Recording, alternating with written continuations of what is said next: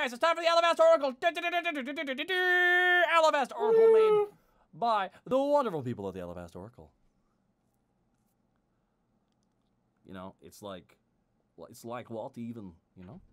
Connor, can you pick one to read out for us? Because but first, there's a creative everyone. Uh, there's a creative writing workshop. Join the Writers Block Club every Tuesday at 8 p.m. at Avon's Cup, which we also have a mug of on the store. Sure. Yeah, it's true. Go check it, baby. But uh, Connor, would you like to read one of these? Want to read Sure. "Improve Your Uh, Safety"? Because I believe you believe in safety, right? I believe in safety. I do. I believe in safety too. Let me just find the actual post. Oh, I got, I got, I gotta go read what Hulkinator just said though. Hey, Papa Pal Remy. Yes, Papa Pal Kiwi. How do you greet a person you just saved? I don't know. What do you say? Nice to bonk you. What? Bonk on the head.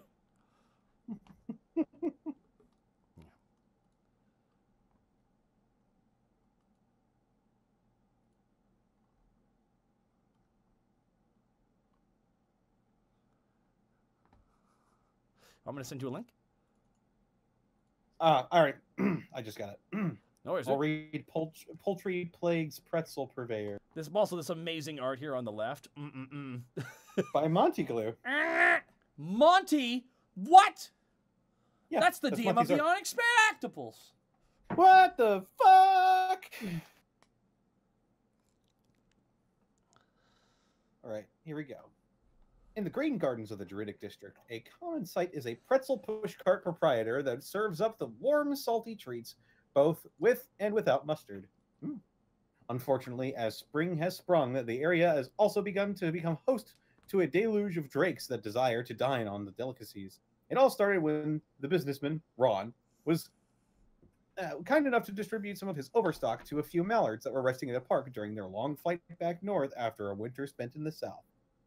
At it was just a couple, Ron stated. I gave them some odds and ends and a bit of a batch that I had already gotten a little scorched. But day after day, more and more would show up. While Ron was willing to leave the leftovers to the birds, his problems began when they started getting greedy and grabbing pretzels off his cart when he wasn't looking, or even snatching them off the hands of customers. The other day, one of my regulars, the captain of the guard, was here with this lady, and one of those beasts snatched and snatched away her no salt honey honey mustard twist. The captain chased the thief around for about five minutes before finally giving up. He may be tall, but he can't fly. In response to this increased instance of avian miscreants, the city guard wanted to disperse the flock, but to little avail, as they simply return once any perceived threat is gone. The th- one thing that has made a difference, according to Ron, is the presence of a regular visitor in the district. It's a sweet young woman who comes by with a fat, blue, scaly dog, I think, and even though he just sits around and the ducks scatter when they come up, he doesn't even have to chase them. I guess it just goes to show they're smart enough to realize when there's a dangerous predator around.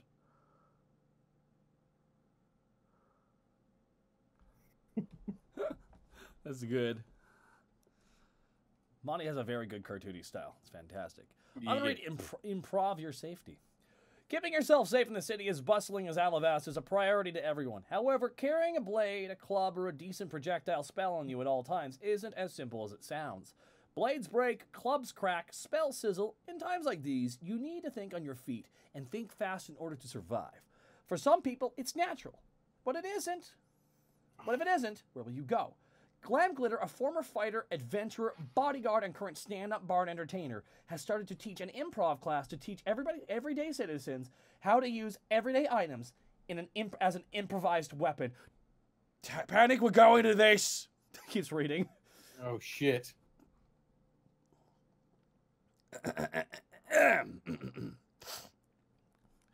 You won't believe what everyday items I can use to kill a man. I thought, with all what happened over the last couple months, I can easily pass on some of my skills to those who need it. Glim said in one of his in a one-on-one interview, for the most part, it's getting students out of their comfort zone and speaking off the top of their heads, give them a random scenario, have them act it out. I show up in a protective suit and go for the attack and see how they react. Then, as a group, we discuss what happened and other suggestions on how to improve that performance. We go down the line and do the next set of scenes and come back around.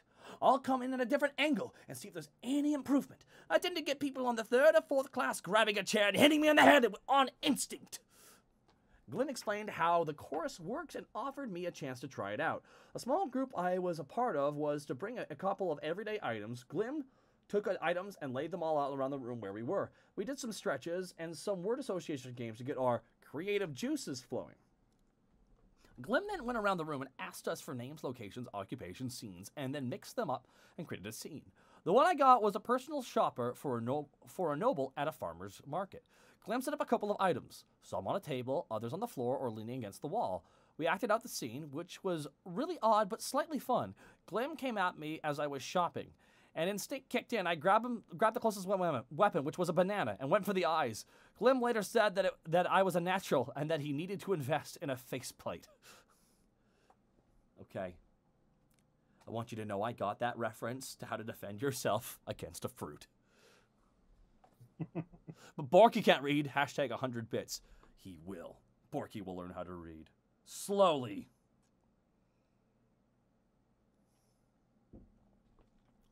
He will learn. Oh my god. Come on, I think it's time for the Lady of Livros- uh, the letters to the Lady of Livrosea. Yeah. Da, da, da, da, da, da. Dear lady, I came to Alavas exiled from my kingdom alone and with no knowledge of the world. Over a year later, I found myself a job, a home, and a new family who care about me. But therein lies the problem. I have my relationship with my friends, work, family, and a woman of which I have come to care greatly for within this wonderful city. Yet my kingdom and my people lie far across the Orlean Sea. Oh, the Orlean Sea. I have a duty to find my fam- duty to my family and my people to return and take up the throne. But the life I live here is vibrant, filled with the laughter and love that I never received back home. I'm torn between the love of my friends and the love of my people. Can one truly choose both? Or must the love of a few be sacrificed to serve the many? Signed, Royal Refugee. Dear royal refugee, I love you.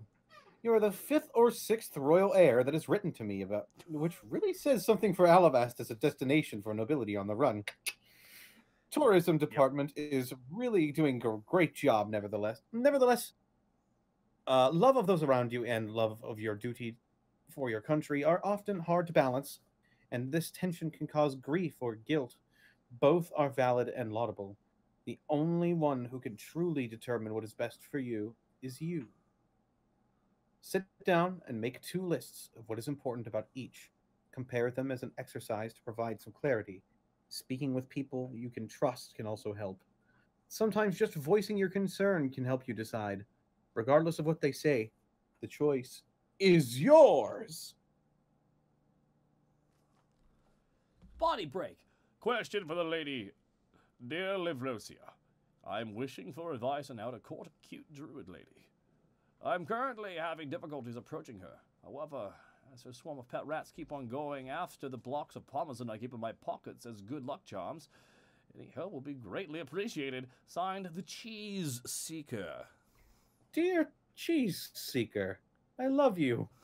Regardless of how you fare with the lady, uh, of how you fare with the lady that's caught your eye, it sounds like you've made a horde of new friends. Often, advice uh, advice is to ingratiate, ingratiate yourself with some someone's pets, children, or friends in order to catch their attention. If you are genuine, good uh, good relations with those around her will follow, but using her rats as an in is not a good basis for a relationship. Maybe in the future, don't take cheese, but for good luck, take along some something that she might like. This season is the the season of spring. She could appreciate some dahlia tubers or daffodil bulbs. Don't stress about the perfect gift. If she is receptive, she might let you know something even better than you could share. In the end, presents or plays of affection to her associates are not the main thread of the relationship, but how you get along with her. Hmm. Dear lady, I'm experiencing issues with love. Not love of country, religion, a significant other, but something harder, I'm struggling with love for oneself. Throughout my life, I have been insecure and unable to love all of my imperfections and defects. I am told more often than not that the first step to the road of happiness begins with accepting yourself for who you and what you are. So I asked your lady, have you any advice for this endeavor? Signed, an inse- insecure individual. And thank that scruffy guy for uh, a six month resub. I'm exhausted. I'm going to bed, but here's ha- have my viewers and my ch- my champs and my subs. Love you, bro. Thanks, scruffy guy. Dear insecure individual, I love you. You've hit on the most difficult love to express. It's easy to list our own failings, and sometimes we deny our strengths even when others point them out. Constantly remind yourself that you are a unique creation of the universe. There is nobody like you. Simply taking a few moments each morning after walk after waking and each evening before retiring to remind yourself how special you are. You can accumulate self-confidence uh,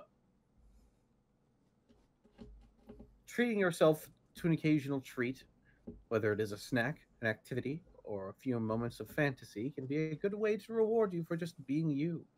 Lastly, remember no matter what you tell yourself, I will always love you. Said.